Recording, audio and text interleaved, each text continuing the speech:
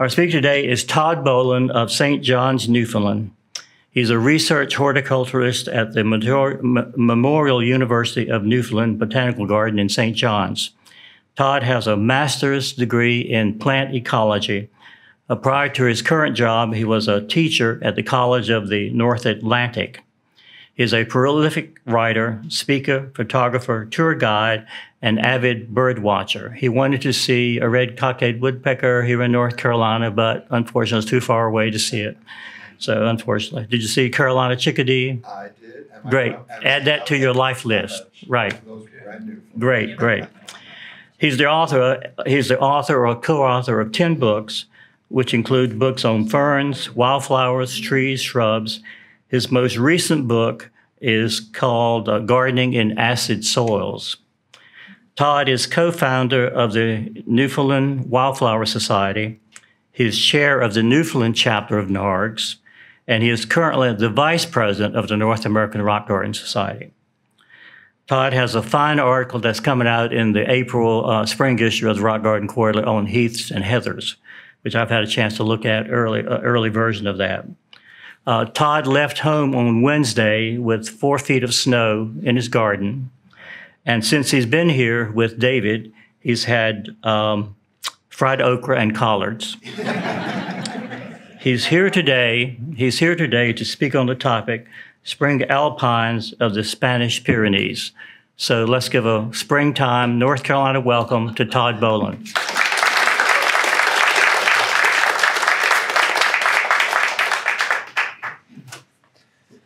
Good morning, everyone. Uh, it's a pleasure to be here. I'm only three years late. um, you know, three years ago today, practically, is when the world shut down. Mm-hmm. And literally, it was a week out that I was supposed to come down. I was starting to feel some trepidation because slowly things were shutting down, shutting down, shutting down. And thankfully, the Canadian government said, no more traveling outside of Canada. I was like, phew, you know, it was, a, it was a huge relief um, in that regards, but still very disappointing because I was so looking forward to getting to this part of the world. And I didn't think it was going to happen. I figured, okay, that's it. That opportunity was gone. It was not, never going to happen. Um, and I was delighted then like about a year ago when Sydney contacted me and said, oh, we're, we're starting this up again. I was like, woohoo, excellent. Because this is a part of the United States I've never been to. Um, I've spoken several times in the New England states, um, I've spoken to Great Lakes chapters, and um, but I've never spoken to this part of the world. And the timing, of course, is great because, as Bobby mentioned, we're in the middle of winter. It's still very wintry back home, uh, with, like I said, three to four feet of snow throughout my garden. I actually changed my flight to arrive a day early here because another snowstorm was coming into play, uh, and flights were indeed shut down. And when we have our flight shut down, it could take us two to three days to get rebooked. Had that happened, I would not be here. So I took it upon myself to book the flight a day early, and everything worked out wonderful. All right. So this morning, am I getting my thing here, I'm going to share you with you a trip that I took about 10 years ago uh, to the Pyrenees. And more recently, I've been doing trips that are actually botanical in nature. But back my other life as Bobby mentioned, is bird watching. So a lot of my earlier trips that I've taken have been specifically to look at birds in different parts of the world. Um, and most of those areas are usually tropical. You know, all the good birds are down in Brazil or they're in, in Costa Rica or, you know, Colombia, places like that. But um, as it turned out, the company that I went with, which is now defunct, the gentleman um, has since re- retired, and so he's no longer doing tours. Uh, this was an in-country um, tour company, and they do both bird tours in May when I was there, the first first ten days or so of May, and then later on in the early part of June, they actually do botanical tours. So the gentleman sent out like a questionnaire to the birders. You know, what do you hope to see on this particular trip? And of course, most people want to see the bearded vulture, which is an endangered species. Um, and when he asked me about my wanting to see, I said, I want to see orchids. and he said, uh, You do realize you signed up for the wrong tour. but anyway, that was fine. Uh, as it turned out, they had a very early spring and all the orchids were in bloom. So you're going to have the opportunity to uh, share in some of the wonderful things that I saw when I was there. So I've organized this, this presentation. Basically, we're going to increase in elevation. And what we're going to start off with is what we're seeing here in the image here is what we call the pre-Pyrenees. So it's sort of the foothills, we'll say, of the Pyrenees proper. This area um, are sort of zone seven, zone six. Okay, so there may be some of the plants I'm going to be showing from this region which would work here. Then, of course, as I get higher and higher in elevation, we're going to be getting into plants that are just the things of dreams for for you. Um, more realistic for me, but even some of the plants are are, are the stuff of dreams for me too. Um, Newfoundland has got a very wet climate. It's got a very long winter, not necessarily cold, cold from your perspective, but you know, from a from a world or a Canadian perspective, our winters are not particularly cold. Most win, you know, if it drops down like to 10 degrees, that's really cold. We consider that being a really cold night if it gets down to 10. Most days are usually hovering around the upper 20s, even the low 30s. Okay. So uh, it's not too bad, but it's just that it extends into May before we get spring. So I was saying to David that your stage right here now at this time of the year is sort of early June back in Newfoundland. So I'll get to have two springs this year, probably three springs, going to England as well in between there. So we'll start off with the pre-Pyrenees. All right, and well, actually, I'll start off with showing a map first. That always helps. Um, so if I can get my little pointer to work, here we go. Okay, so for, uh, Spain is sort of broken up into a number of different provinces or states. And the area here in pink is the province or the state of Aragon. So, I mean, I could have just called this, you know, the Alpines of, um, you know, the Pyrenees and just leave it at that. I decided to actually specify uh, the province that we were in. But essentially, there's only three provinces that fall within the Pyrenees range. So you're either going to be in the Barcelona area, and that in that particular province, uh, the Huesca area, which is the Aragon, or Navarra, which is uh, on the upper section. Essentially, a lot of plant material is the same throughout at any rate. Um, there's a few plants that are more specific to the central area of the Pyrenees as opposed to the more uh, fringe areas in the coastal in the coastal regions. So we flew originally into uh, Barcelona and we drove then to Huesca um, and we stayed into a little town uh, just outside of Huesca. And essentially, when we are birding, we did a little bit of birding around Huesca itself, which is sort of desert, semi-desert, sort of steppe area. And then we went up to Jaca, up in this area here. Uh, went over to Hecho, over here, and then we traveled backwards uh, to Bielsa, over in this area right here. Um, and in Bielsa is where we actually crossed the border into France. So that's when we actually topped the top of the Pyrenees. So these are the specific areas I'm going to talk about. We're going to start off with the uh, San Cruz de los Cerros area first, which is sort of in the pre-Pyrenees. Then we went to Saresa, uh, Gabardito, Lizara, and then the Piedra de San Martin is the, the French border at the highest elevation. So starting off in the pre-Pyrenees, this area was very rocky, very dry um, in this particular spot.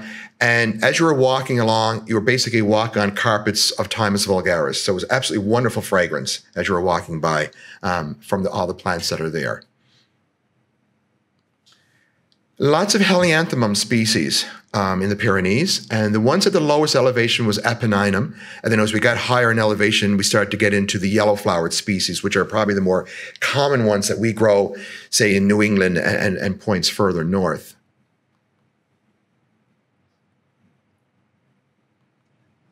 Uh, Helianthemum nummularium. So that's the, the common rock rose that a lot of gardeners grow. I'm not sure how many of you are growing that one here or how well that one does here. I would have thought it would do okay um, in this part of the world. We have a little bit of trouble with that one. It has a tendency to brown off sometimes in the winter if we have a cold snap uh, with very little snow cover. And that's been hybridized and selected over the years now. So there's a whole rainbow of colors. You can get this in uh, white, yellows, oranges, reds, pinks. So there's a lot to choose from. But the wild version is this nice bright yellow.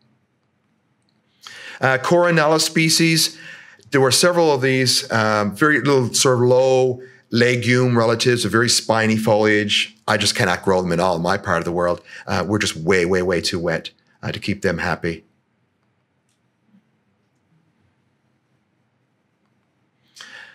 A number of different convolvulus species that did little morning glories. Um, again, I can't grow these. We're just too wet where I'm to. I would think that would you would have a better chance uh, of growing those down here. So convolvulus lineatus is probably one of the prettier ones.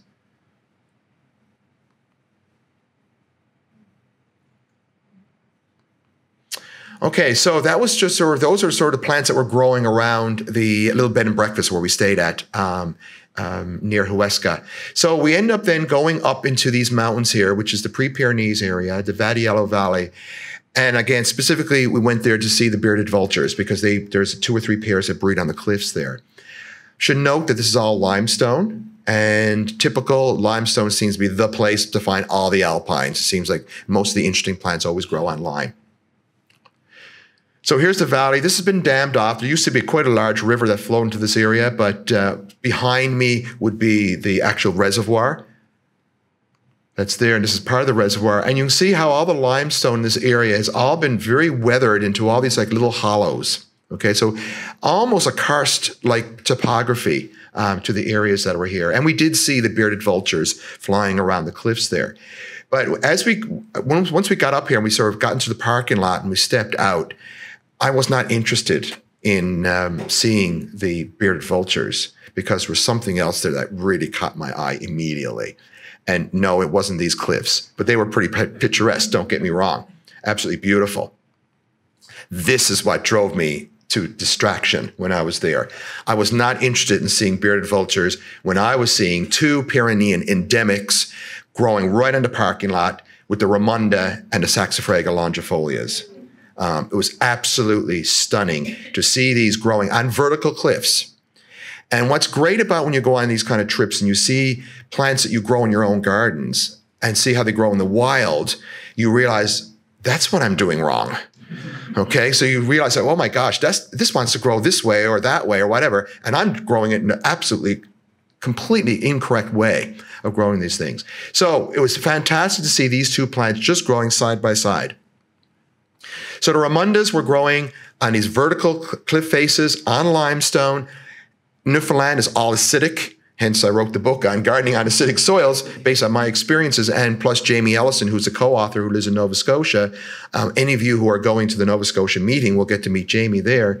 Um, we're both dealing with acid soil conditions, yet we both grow Ramonda uh, myconi. It's surprisingly hardy, and this is an African violet relative. Um, I never dreamt that it would be it would survive in Newfoundland. And I know people who are even in colder zones than myself that are having great success with growing this particular plant. On a closer view of their flowers is absolutely exquisite plant. And if you don't have it, fuss it, fuss over it to grow it because you, you really want to have this plant. But Saxifraga longifolia was another spectacular plant. And unlike most saxifrages, this is a monocarpic species. So it just grows and grows, and the rosette keeps getting bigger and bigger and bigger. And literally, when the rosettes are like almost the size of a of a, I call it a Nerf football. okay, um, and for the older people, will know what a Nerf football is. So. Um, when they get, you know, when the heads are like this big on the rosette, then it'll flower. And it'll produce this magnificent spray of white flowers, like a fountain effect. Because again, they're growing on these vertical cliffs. Um, and then the plant dies. It produces thousands of seeds. And no doubt a lot of these seeds are falling into the parking lot, never get a chance to germinate. But obviously enough seeds do make it onto the cliff faces to keep the plants going. So we were seeing plants at all stages, from little tiny rosettes to great big rosettes to the flowering plants. Okay. And it's probably by far the most spectacular saxifrage of all the species. And there's, I don't know how many, there's probably 100 plus species of saxifrages in the world. Um, but this particular one is definitely, it's not the only monocarpic one, don't get me wrong. There are several others as well.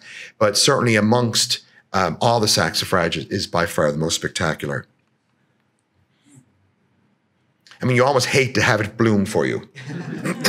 and I've grown it in my garden and I've gotten it to bloom in my garden and I it didn't set any seed for me. So I managed to get seeds from another seed exchange and I'm starting it over again.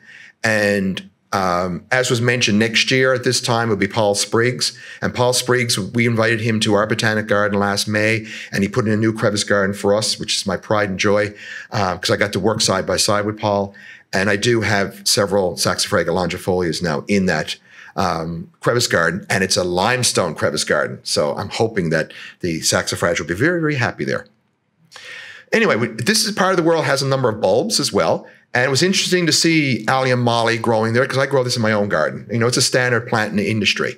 Uh, but again, seeing them growing in the wild in very, very rocky uh, soil. I mean, there's hardly any soil here. It's basically just sort of gravel. Uh, Gladiolus illyricus, that's got a fairly wide distribution. It's a, a, reasonably hardy gladiolus. I say reasonably, not quite. It's sort of borderline in Newfoundland uh, for where it could grow. I'm, i would think it would best be the best kind here. Uh, Brimeura ameth- amethystina. It used to be a, a hyacinth, but it's been re- everything's been reclassified now amongst the bulbs. So um, it's very Scilla-like um, as far as bulbs grow. We can grow this one back in Newfoundland as well. Um, Aphyllanthes monspeliensis, I've, I've never had any luck growing that one. I think that one is definitely not hardy at all. Uh, again, probably would be perfectly fine around here. Is there anyone growing this? Yes. Okay, well, there you go.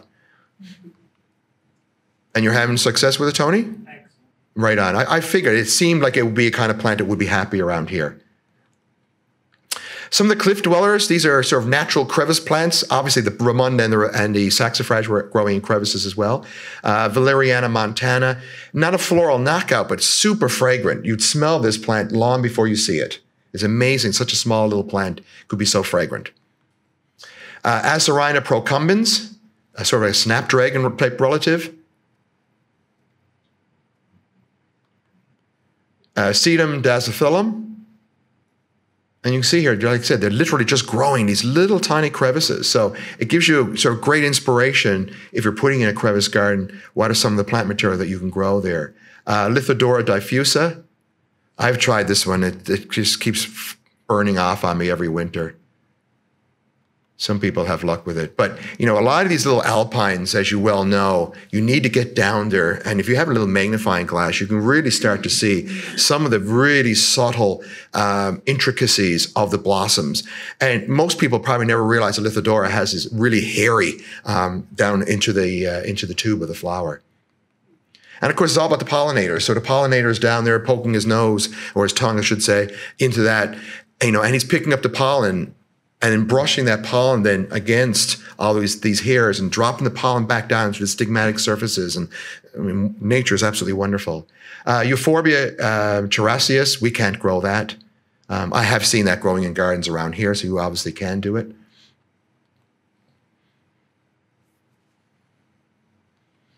So from there, now we're heading up into the mountains proper. Um, so we're go- we spent a couple of days in Santa Cruz de los Cerros um, at about 1,400 meters. I would say this is probably again around a zone six in this particular area. They get a little bit of snow in winter, but it doesn't stick around for very long.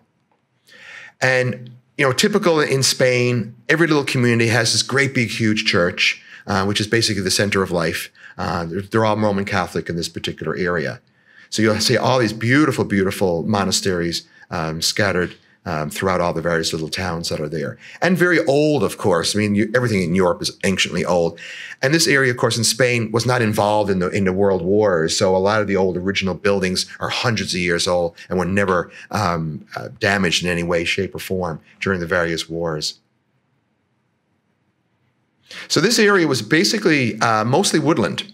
And it was a combination of European beech forest, um, some um, species of pine and some spe- species of fir that were growing in this area. And this is the view. So you sort of walk through the forest and then you broke out just spectacular vista. And in the background here, you can see sort of in the clouds, the snow-capped Pyrenees proper. Okay, so we're sort of at the peak, I suppose, of the pre-Pyrenees. And we end up driving down through this pastoral valley, and then we actually start to ascend then into the proper Pyrenees in itself. And here's a sort of a, a zoom in um, of the snow-capped mountains of the Pyrenees. Okay, so we again lots of bulbous plants in this area because it would get quite dry here for many many months of the summer months. Okay, um, early May it's spring and this is when all the bulbs were blooming. So Asphodelus albus we were seeing there and Asphodelus cerasiferus, which got this beautiful blue foliage. But otherwise, the flowers are quite similar between the two. And I can't grow these at all. We had one species of Narcissus, Narcissus assoanus. And I'm not sure, Tony, you might know the answer to that one. Is that one of the parents in like the baby moon and, and, and all that group? Don't know. Okay, because the foliage is very similar and the flowers are somewhat similar. Because I mean, I'm seeing them in gardens around here with these little small multi-flowered uh, narcissus with very terete foliage. Muscari neglecta were all over the place. They're basically roadside weeds.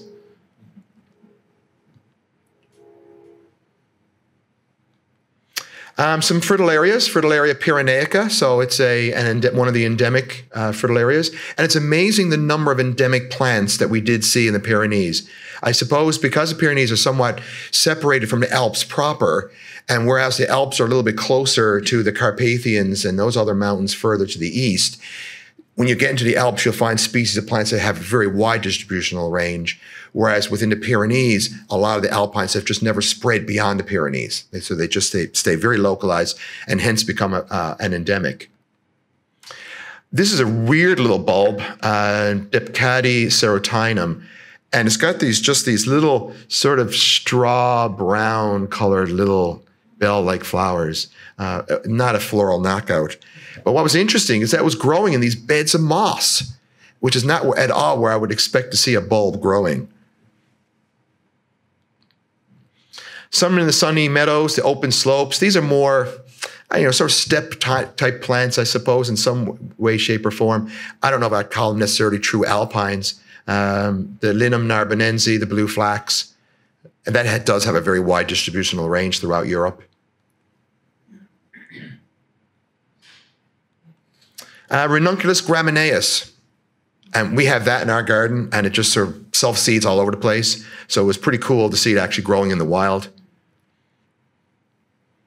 And you know, we think about buttercups as being like nasty garden weeds, but there's a lot of very, very exquisite and very choice uh, buttercups in the world. Um, for those of us that were on the Swiss tour that NARGS did last year, we saw some absolute beauties, uh, white flowered buttercups, which were absolutely gorgeous. But we didn't. See, well, we did see a couple of white ones. I'll show you that a little bit later.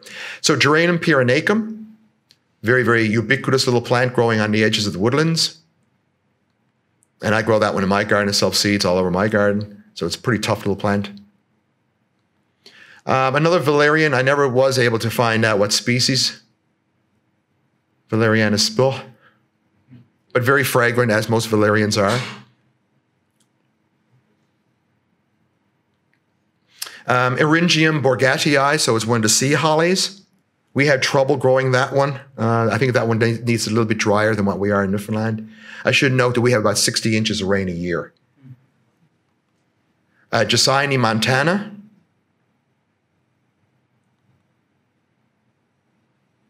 And that's a relative of, of, of bellflowers, although you never say it. Uh, Anthyllis montana, a little pea relative. Saponaria ocymoides, soapwort. And that's a very ubiquitous plant in the nursery industry. It was interesting. The flower shape on their soapworts are a little bit different from the standard ones we see around here. Growing in just gravel. I mean, basically just sort of scree slopes is where they were growing. Um, in the woodlands, we were seeing hepaticas. So they're, they're the European version of the hepatica um, americanas that grow here. Anemone ranunculoides, so it's a yellow flowered um, anemone. You'd think it was a buttercup, um, and hence the name ranunculoides basically means it's the anemone that looks like a buttercup. Um, Allium ursinum, one of the uh, little woodland um, ornamental onions, if you want to call it that. And that's an edible plant. So it tastes and smells very much like garlic. It's like a wild garlic. Now, we saw the first of the orchids. Uh, Anacamptis morio was very, very common. That was we kept coming across that plant from the lowland areas right up into the tops of the mountains. Um, vibrant, vibrant fuchsia color. Uh, Anacamptis pyramidalis. Some were pale pink, some were deeper pink. And most of these orchids are really not being grown in cultivation in our parts of the world. Although I've been seeing some pictures on, on Facebook of some of the people in the UK that are actually growing these as garden plants. Uh, Orchis militaris. I mean, they're absolutely spectacular if you could grow them. I mean, the colors are just incredible. Um, and a number of bee orchids. This is Ophrys sphegodes. And with these uh, bee orchids, essentially the lip of the flower right here is mimicking the female of a solitary bee. And the timing is all critical because what happens, the male bees emerge first before the females. And they're, I, am not going to be delicate, they're as horny as a goat, okay, when they come out. And they'll mate with anything that looks like a female. And this is where the orchids come into play. So the orchids have to have their blooming to coincide with just after the males come out, but before the females come out. Because once the females come out, the males are not going to bother with the flower anymore. Not when you got the real you got the real thing. okay? So in order for this orchid to be pollinated is all about the timing. All right. So it's absolutely fascinating how all these various bee orchids end up getting pollinated. Uh, this is probably the more spectacular of the bee orchids, Ophrys uh, scolopax. And you can even see how on the flower, you even have the antennae that looks like the female. Okay. Um, and a lot of these orchids would also produce a fragrance that's like the pheromone released by the female bee. Right. So it's just that one step. I mean, it's just absolutely amazing what has evolved over the years, this relationship between orchids and insects. All right. So in this case, very specific. You got probably only one or two species of bee that is the primary or the solid only pollinator of this particular orchid. So if the bee dies out, the orchid is going to die out. Okay. That's just how interconnected they are. Okay. So we left from there. We went across that lovely valley. Now we're going to go up into the Pyrenees proper. And we spent a couple of days in this lovely little town called Saresa. So we're at about 1,300 meters now. So we've actually dropped down uh, 100 meters uh, from the previous location. Again, beautiful monasteries. The architecture of these buildings are spectacular. You know, it was, it was lovely in the afternoon just sort of to walk around the town, spend our mornings bird watching or botanizing, uh, depending on what you want to do but just very quiet. I mean, you hardly you might you might bump into one or two people. Uh, it was just a very very quiet little place. So here now we start to get into some of the ferns. Um, Cystopteris fragilis, very wide distributional range, occurs throughout the whole Arctic. So right across Eurasia, northern Eurasia and right across North America. Um, Asplenium ceterach, which is the broader leaved fern right here, um, and then Asplenium viride, which is the finer one on the uh, on the left there. And again, just sort of a whole smorgasbord of different types of ferns growing together. So in the fields, we were seeing Arnica montana. Um, that's sort of a medicinal plant. You often see, you know, different types of medicinal herbs. Uh, you'll see arnica being sold. I'm not sure what it does for you, uh, but it is in supplements. And this has got a wide distributional range. We saw these in the, in the uh, Alps as well. Um, along the stream sides, Caltha palustris, marsh marigold. And every place I've been in the northern hemisphere, whether it's been a botanical trip or whether it's been a birding trip, I always stumble into Caltha palustris. It's common in Newfoundland, it's common across Europe, it's common in the Pacific, in the Pacific Northwest. Um, it's absolutely amazing. So it's sort of my little uh, friend, I suppose, botanically speaking, when I'm traveling around. It sort of keeps you grounded uh, to see the marsh marigolds. I found the ones in the Pyrenees that were much more orangey than ours. Ours in, in Newfoundland are quite bright yellow, but these ones were really um, uh, quite an orangey yellow. Okay, um, Cardamine raphanifolia. It's um, grow, sort of growing along the edges of the streams in quite wet little locations. I think, I'm not sure if these have been reclassified as a dentaria or the dentarias are only in North America and the ones in Europe are still cardamine. Uh, Pinguicula grandiflora, it's a butterwort. So this is an insectivorous plant. So those leaves, if you touch them, they almost feel somewhat slimy, and little flies that will come by and be attracted to those leaves will get stuck to the leaves and form a nice supplement. More orchids, another bee orchid, Ophrys lutea, the yellow bee orchid. Um, Cephalanthera longifolia is called the white helleborine orchid. And we had the pink helleborine or the red helleborine orchid, Cephalanthera rubra. Um, Aceras anthropophorum. This is called the man orchid. And the flowers are typically green, but sometimes they can be red. And Orchis purpurea was the lady orchid because she has a much more fancy sort of Spanish dancer type lip. Absolutely stunning, those flowers. I mean, the, the part of the flower is almost black purple, it's so dark. Um, Orchis coriophora. And of course, I did my, um, as, as Bobby mentioned, I'm really a plant ecologist. I have a master in plant ecology.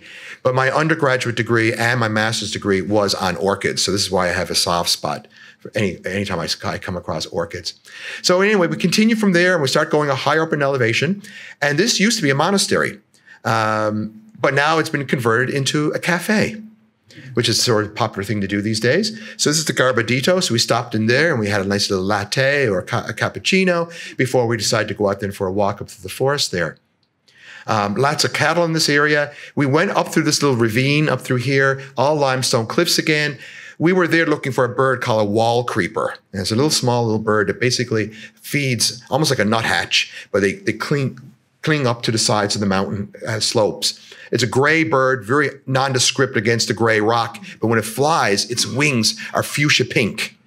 And you get these flashes of pink, and then when it lands on the cliffs and it closes wings, it just goes back gray, the same color as the rock. So it was absolutely amazing. Like these flashes. And we were sitting with our binoculars looking, looking, looking for that little flash to take place. But of course, I was being distracted by other things. So as we're walking up to that ravine, we started to come across some of the hellebores. So Helleborus viridis, the green hellebore. And we were too late. It was already late in the season for the Helleborus uh, foetidus. So they were already going well into their seed pods at that stage.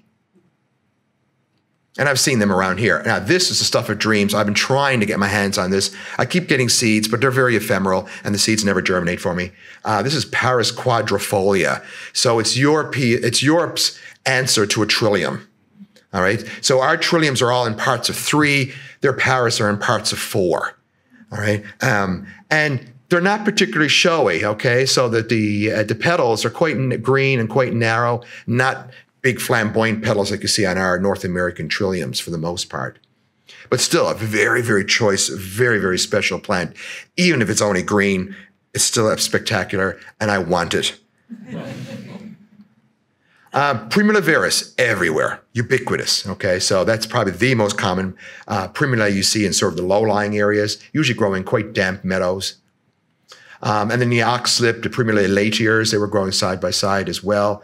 Uh, the little silvery leaves you see on the bottom there, that's um, Alchemilla alpina, the alpine lady's mantle.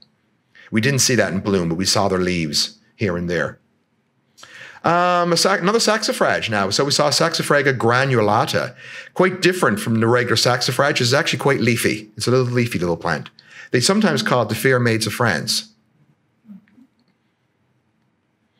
Um, Cardamine heterophylla, Lovely woodland plant. I, have tried this from seed and I've never gotten the seeds to germinate. Beautiful plant, close up, very uh, almost silky like texture to the blossoms. Uh, a bulb that I've never seen in cultivation, Scilla liliohyacinthus, quite large. It's probably the largest Scilla um, that I've seen as far as Scillas I've seen in North in um, in parts of Europe, and it's quite attractive. But yet I've never seen it in cultivation. Tony, have you ever come across this one. I, so I don't know why why there, someone has not introduced this because I think it's a it's a lovely plant.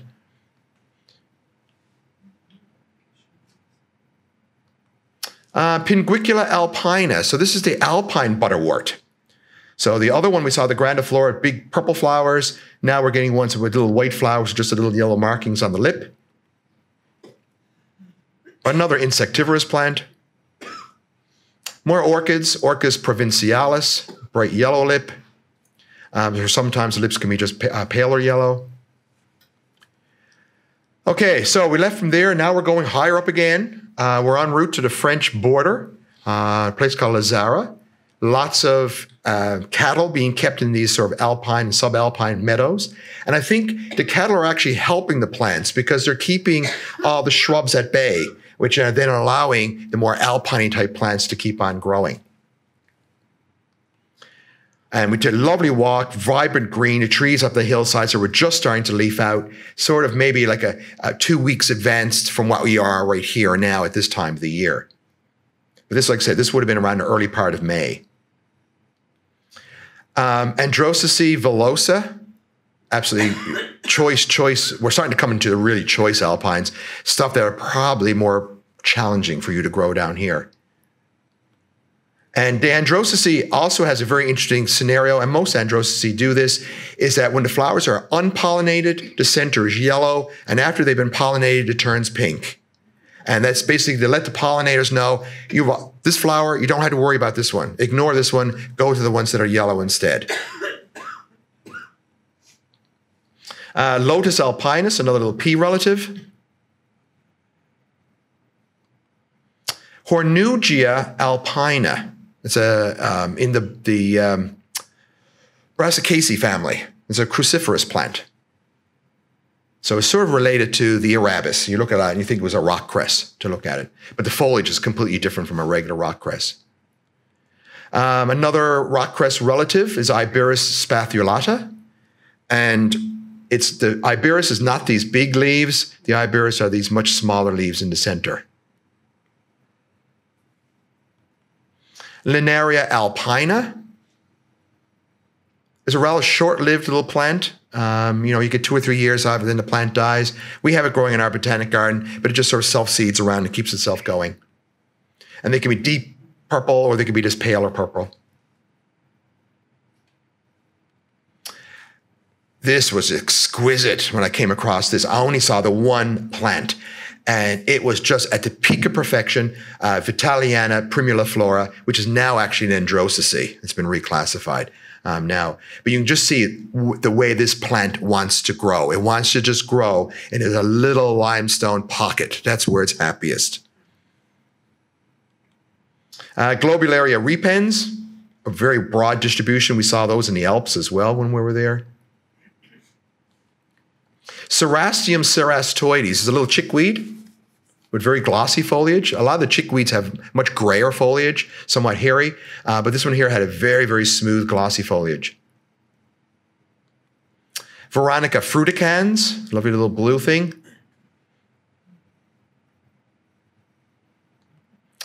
Uh, Anemone narcissiflora. Uh, I, I, imagine you probably cannot grow that one here. It's, it's one of the anemones that prefers cooler temperatures. Um, but you can see how it gets the name Narcissiflora because the, the flowers, from a distance, you'd almost think was like a Tazetta daffodil.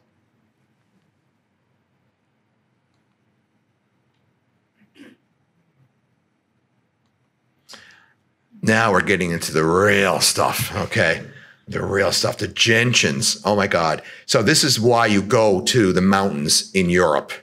All right. Whether it's the Pyrenees, whether it's the Alps, the Carpathians, because um, every one of the mountains, high mountain areas uh, throughout Europe have these wonderful trumpet gentians. Now, there's a number of different species, around seven or eight different species.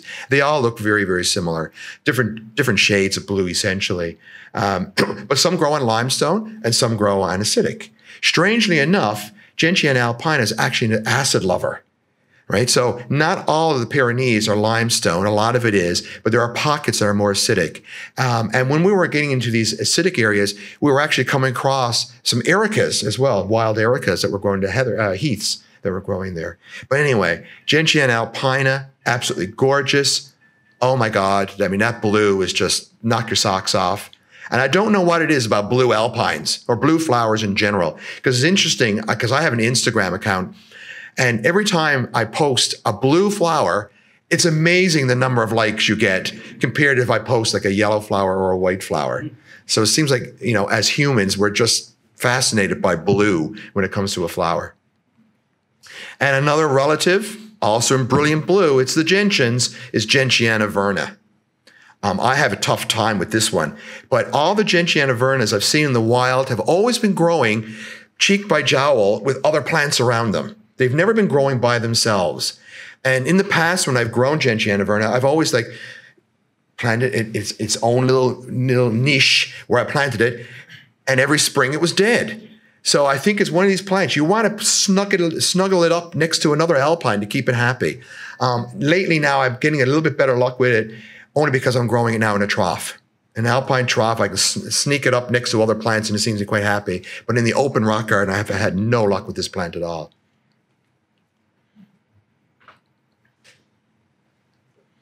Um, Helianthemum um, alpestre, sort of the alpine version of Nummularium with much smaller flowers.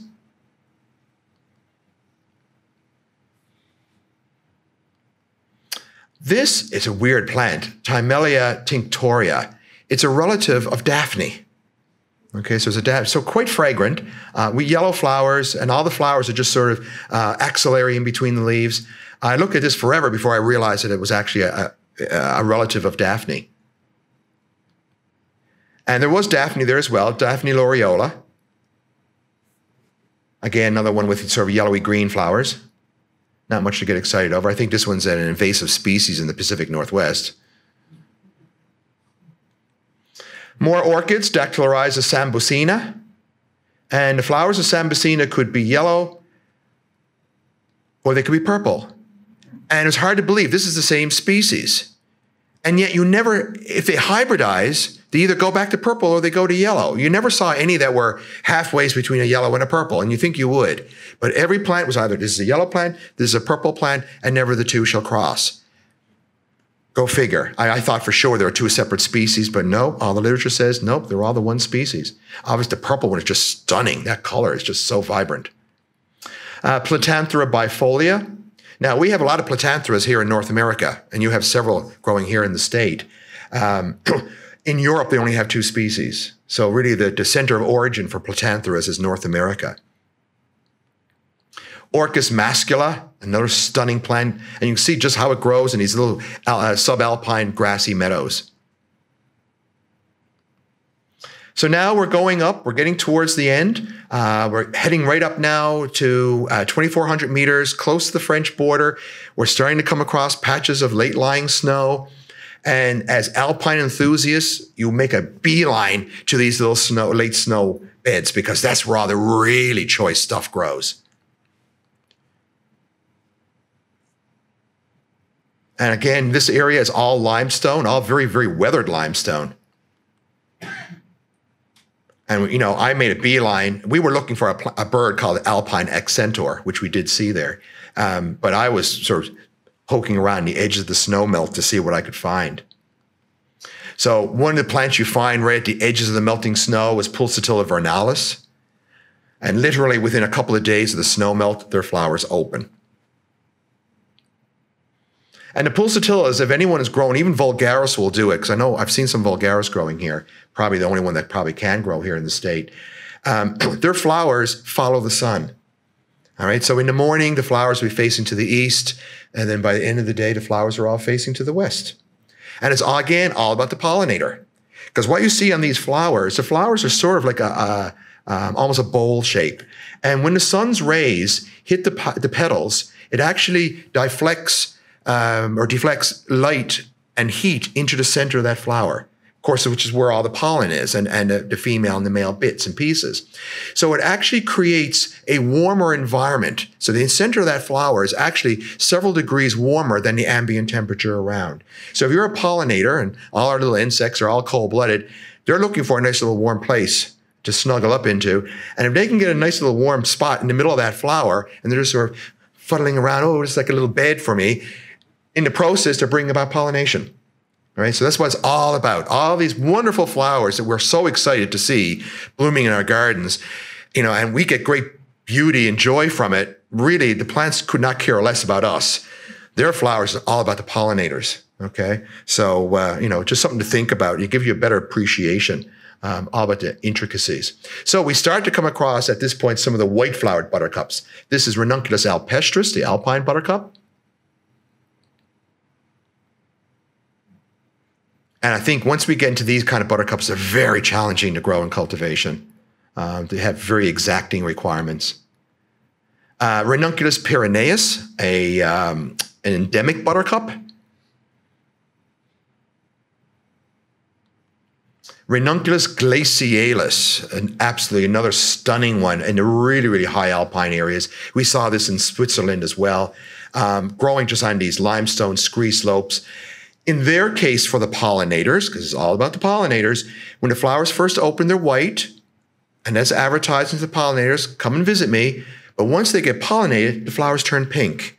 And then it's like, don't bother with me. I've already been visited. Go elsewhere. I mean, that's just absolutely stunning. But again, the flowers have that hyperbolic lens type shape. And it's actually heating up a couple of degrees above the ambient temperature into, in, uh, in order to create this warmer environment for the little bees that are flying around there. Um, a few more saxifrages, Saxifraga bryoides, a very, very um, tight little bun forming saxifrage. Silene acaulis, very ubiquitous plant. Grows in Newfoundland, grows in the Canadian Rockies, um, it grows in the Pyrenees, it grows in the Alps, it grows in the Carpathians. Um, it's again what we call a Holarctic distribution. So throughout the entire northern hemisphere, um, in the proper uh, alpine and or Arctic environments.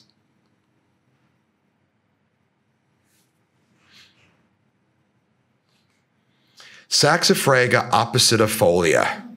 Oh my God. It is, again, another plant that dreams are made out of. Um, it's interesting because this has got a Holarctic distribution as well. But for some unknown reason, the clones from North America are virtually impossible to grow in cultivation.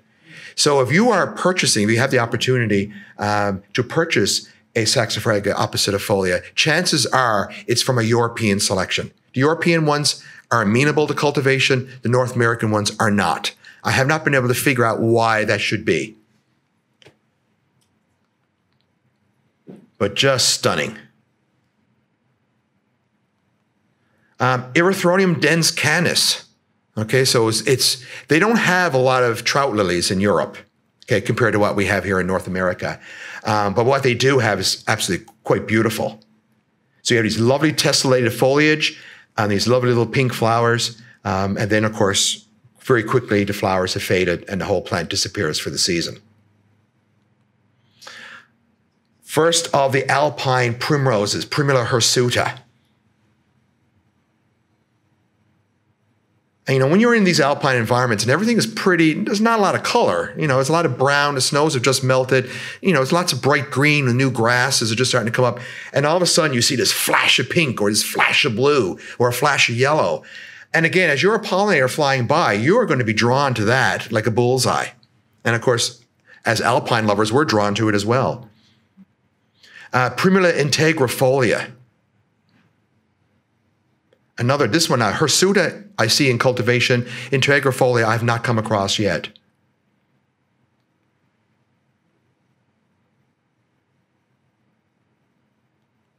And a closer view. And again, you don't realize until you get really a nice macro shot and you see all those hairs in the very center part of the flower.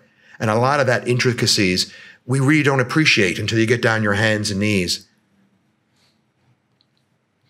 Narcissus, wild daffodils. Okay. And this looks like a regular daffodil. This is Narcissus, pseudo Narcissus. We're just sort of catching the tail end. You see the blossoms are already starting to go past.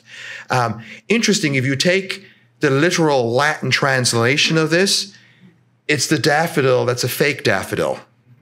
Okay. It's like it's a pseudo daffodil. Like why it's just a pseudo daffodil, I, I have no idea.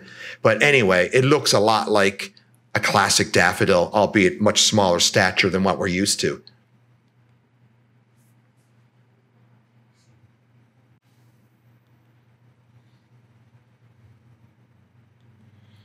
And this was the pride and joy. Um, and we, we were very fortunate to see this in uh, Switzerland as well.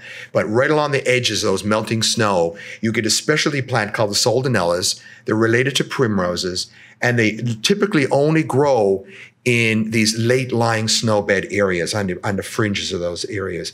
So you have to be there at the right time. You got to be there within a week of the snow melt because the flowers don't last for very long. And then you just have foliage for the rest of the season.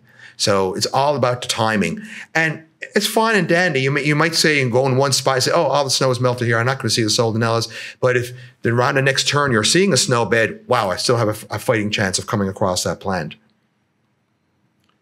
So the flowers are typically purpley. Um, sometimes it can be sort of a reddish shade, um, and sometimes it can almost be, be pure white. But very appropriately named called the, fr- called the fringe bell.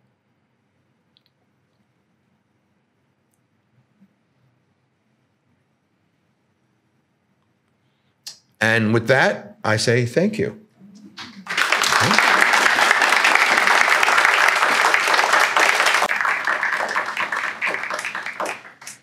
Questions? Comments? So the question that was asked was, how large are the bee orchids? And the plants themselves are probably around six to eight inches in height, but the individual flowers, maybe a half an inch to an inch. So it, it would match up with the size of whatever the bee is who's going to be pollinating it. So there's some variation amongst the different species of bee orchids as well. Some may have slightly larger flowers than the other because they're using utilizing a larger solitary bee, and then those that are utilizing the smaller solitary bees are the ones that would have the smaller blossoms. Yeah. Okay, so the question was asked is with the Saxifraga longifolia, um, how long do the flowers last? And because it's such a huge spray, and we're literally getting hundreds of blossoms on that, it does last for several weeks. So unlike a lot of saxifrage, which is typically, you know, a week or so, if the weather turns hot, then it may only be literally a couple of days uh, before the flowers are finished. The longifolias last much longer, and they were growing in a quite low down. They weren't really in the high elevation areas. It was relatively low elevation and quite hot in that area. Now they were growing on sort of east and north facing slopes. So they would get shaded in the afternoon. So obviously they wouldn't be getting the full blast of that afternoon hot sun. So as a result, the flowers would last a little bit longer. Um, but you know, the one that I have in my garden that did bloom, I say the flowers lasted for the better part of maybe about three weeks from from start to finish. Yeah. Okay. So the question was asked: Are there companies that um, lead tours um, to the Pyrenees for botanical trips? And the answer is most definitely yes. Because um, I'm a, a, tour manager with a British company called Greentours, and specifically, I do a tour of the limestone barrens in Newfoundland. But they do do tours, and I think they might actually have two different areas um, in the Pyrenees that they go to on various tours. I suspect that Brightwater probably goes there as well. Um, I, I, would imagine that if you just do a Google search, you will find that indeed, because it is a really special area. It's easy to get around. It's easy access to the really uh, choice plants. So there's no reason in the world why um, they wouldn't be doing tours. Now, there's another area in Spain on the on the northern end of Spain. It's like, it's like a separate mountain range, um, and I'm trying to remember the name. Yes, that's it, the Picos. Um, and there's tours in that area because there's a number of endemic plants in that area as well that occur there that don't occur in the Pyrenees proper. So, you know, either one of those, that could be two separate tours at some point in the future. Um, and as I'm now sort of the, the tours thing is sort of falling on my shoulders, as it turns out. So uh, I'm interested in, I would love to get back there again because it's been at least 10 years since I've been there. And uh, it'd be nice to do a botanical trip as opposed to a birding trip because I was just sort of snapping the pictures as I was looking at birds. It was hard on the neck and hard on the back, up and down, up and down all the time. So it'd be nice just to stay down, just crawl around on my hands and knees for, for a week. Um, so yeah, so that's it. Th- you know, thank you for that uh, suggestion, and um, it'll definitely be considered. Yeah. Yes, ma'am. Um, I've never come across one that was specific to that area. We were using a uh, a guide, which was the Alpine Flowers of Europe. Um, oh, I'm trying to remember the gentleman now who wrote who wrote the book. He's written so many books, but um, he's from England anyway. The gentleman who wrote it, and uh, that was our that was our guide, and it's the same guide that we use in Switzerland as well. Um, and essentially, that book covers the Pyrenees, the Alps, and the, and goes as far as the Carpathians. I uh, don't think that book is as good once you get to the Caucasus. So you're sort of because by the time you get to the Caucasus, which is basically uh, the country of Georgia and um, Albania, not Albania, no. Uh, Armenia. Uh, yes, thank you. I knew it was an A. right, right church, wrong pew. Um, for that area, then once you get into that area, that particular guide is not so good. But I think there is a brand new guide that has just come out now for Albania or for um, Armenia. Armenia. Sorry, um, which will cover the, the, the, alpine plants from the uh, from the Caucasus region. But yeah, so there's no. I never saw. They, they may exist, but I, I never came across a specific book for that area. Um, I would suspect that those that I saw in the lower elevation area. So the question is asked: Could could any of these orchids be grown um, in this part of the world? And in the pre-Pyrenees area, so the first orchids we came across, they would be areas that would get very hot and dry in the summer. Now I know you get most of your rain actually in the summer, so it may be a bit problematic because they probably would rot uh, when they're dormant because a lot of these orchids would actually go completely disappear. They're ephemerals. So they would go completely dormant by the time June or July rolled around and wouldn't poke their noses up anymore until probably midwinter because for them in that area by end of February, early March, just if there is any snow, it's gone. And those orchids start to come up quite, quite early. So I know that in Europe, they're growing some of them, but they're growing them in alpine houses. So they can be really they can really you know basically keep them bone dry in the winter. Um, yeah or in the summer sorry. Um, so i would say it'd be very challenging. I would say it'd be challenging. Oh my god. I've certainly killed more plants than i've than i've kept alive. Um, you know and that goes with the territory because i'm always trying to push the envelope and whether it's from my own garden or more, more particular from botanical garden perspective, because we get seeds from um, seed exchanges from other botanical gardens throughout, well, primarily Europe. And so I'm, I'm sowing between two and 300 pots of seeds every year. Um, of things which I know most of them will probably never grow or never survive in Newfoundland. But I've been surprised. I've come across things that's like, wow, this is actually doing pretty good for us. Um, you know, so every once in a while. But I would say I've definitely killed more than what I kept alive. Um, what was the bird? Oh, for, for from a world perspective? Life oh, life, my life list? My life list is not that great. I think it's probably around last count, it was getting close to 3,000 species of birds. And there's around close to four, there's close to 9,000 in the world. Okay, and I'm getting close to 3,000, so maybe almost a third. But I've never birded in uh, Asia, so that's a complete, like all my birding trips are mostly Central and South America. I've managed to get to Europe. Uh, I've covered most of the birds in Europe, and I've gotten as far as South Africa um, and New Zealand. But uh, I've never gotten to like India, China. I mean, my God, there's thousands and thousands of species of birds there, uh, which are, remain to be seen at some point in the future. Uh, would you be able to speak on the invasiveness of marsh marigold in this area? I wouldn't think that marsh marigold would be invasive. Is it? Oh, you don't know. I don't know. We're asking. It won't grow here. No, I was going to think that it would probably be too warm. A lot of people confuse it with ranunculus ficaria or ficaria ficariformis. That is invasive. That's what they think Oh, okay. Yeah. So, yeah, the Ficaria is only a small, small little relative, but it does look like a little miniature marsh marigold. Marsh marigold in itself, like I said, I suspect, and, and Tony's confirmed, that it's probably just way too hot here to keep that happy. Um, in the New England states, easy peasy, it'll self seed any kind of damp areas in your garden. Um, I know people growing it in Calgary, they're growing it everywhere in Europe. Um, but it's, it's, as much as it's a Holarctic plant, it's a northern Holarctic plant. Okay, so it doesn't it really extend into um, warmer climates. Yeah. Okay. Well, thank you very much.